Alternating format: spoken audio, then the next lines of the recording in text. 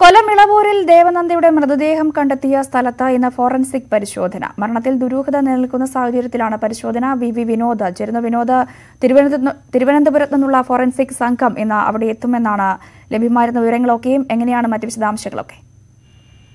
Forensic മേധാവിയുടെ നേതൃത്വത്തിലുള്ള സംഘം എത്തുമെന്നാണ് അറിയിച്ചിട്ടുള്ളത്. ഉച്ചയോടുകൂടി പരിശോധനയ്ക്കായി എത്തും. കഴിഞ്ഞ ദിവസം എത്തുമെന്ന് അറിയിച്ചിരുന്നെങ്കിലും യാത്ര ഇന്നത്തേക്ക് മാറ്റുകയായിരുന്നു. ആ, ശാസ്ത്രീയ തെളിവുകളുടെ അടിസ്ഥാനത്തിൽ അന്വേഷണം മുന്നോട്ട് കൊണ്ടുപോകാനാണ് പോലീസിന്റെ ഇതിന്റെ അടിസ്ഥാനത്തിലാണ് ഫോറൻസിക് സംഘത്തോട് പ്രത്യേക ഒരു അഭ്യർത്ഥന നടത്തിയത്. സ്ഥലത്തെത്തി തന്നെ പരിശോ വിശദമായ പരിശോധന നടത്തണമെന്ന ആവശ്യം അന്വേഷണ സംഘം മുന്നോട്ട് വെച്ചത്. ഇതിന്റെ അടിസ്ഥാനത്തിലാണ് പരിശോധന നടത്തുക. കഴിഞ്ഞ ദിവസം ഇതുമായി ബന്ധപ്പെട്ട വിഷയം നിയമസഭയിൽ വന്നിരുന്നു.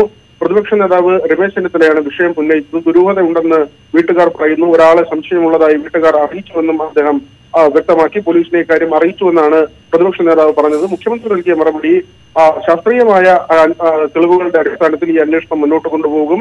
കുട്ടിയുടെ വിയോഗം രക്ഷിതാക്കൾക്ക് ഉണ്ടാക്കിയ വേദന ഒരിക്കലും തീരാത്തതാണെന്നും മുഖ്യമന്ത്രി പറഞ്ഞു. ഏതായാലും ശാസ്ത്രീയ പരിശോധനാ ഫലങ്ങളുടെ അടിസ്ഥാനത്തിൽ മുന്നോട്ട് പോകാൻ തന്നെയാണ് അന്വേഷണ സംഘം തീരുമാനിച്ചിട്ടുള്ളത്. രണ്ട് സാധ്യതകൾ ഇപ്പോഴും പോലീസ് പരിഗണിക്കുന്നുണ്ട്. ഒന്ന് കുഞ്ഞു സുമേധയ നടന്ന് പുഴയിലേക്ക് എത്തി അവിടെ കാൽതന്നി വീണു എന്ന ഒരു സാധ്യത. മറ്റൊന്ന് കുട്ടിയെ ആരെങ്കിലും അപായപ്പെടുത്തിയെന്ന് ബന്ധുക്കൾ പറയുന്ന തരത്തിലുള്ള ഒരു ദുരൂഹത. ഈ രണ്ട് സാധ്യതകളും പരിഗണിച്ച് തന്നെയാണ് അന്വേഷണ സംഘം ഇപ്പോൾ മുന്നോട്ട് പോകുന്നത്.